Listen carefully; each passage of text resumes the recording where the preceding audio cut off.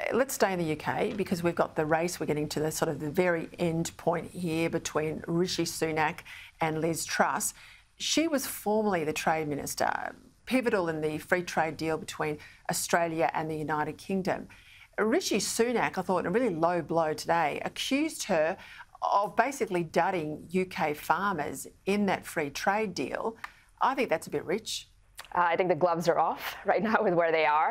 Uh, I will say, if true, you know, good for us, I guess, and uh, all credit to the negotiators under the Morrison government who negotiated that. But look, I think it's about political expediency. He's trying to do two things: sort of uh, issue a blow, even a low blow, against Truss, um, and then the second thing is he's trying to shore up his bona fides with the working class base. Those are his constituents in North Yorkshire.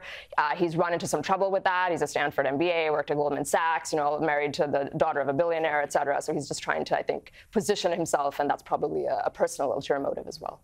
I'm going to go to the UK pretty soon. I'm going to get out to the hustings and hopefully see some of it happen in uh, in live real time. But chance your arm, who do you think is going to come out on top? Oh, I think Liz Truss is ahead in all, in all the polls I've seen, 60%. And I think this comment of Rishi Sunak, who's a um, I think, a really an adornment to the British Conservative Party that they've got so many people from what they call Asian backgrounds. Mm -hmm. um, uh, they're, um, it's like Australia having uh, 11 Indigenous uh, MPs. It's only good.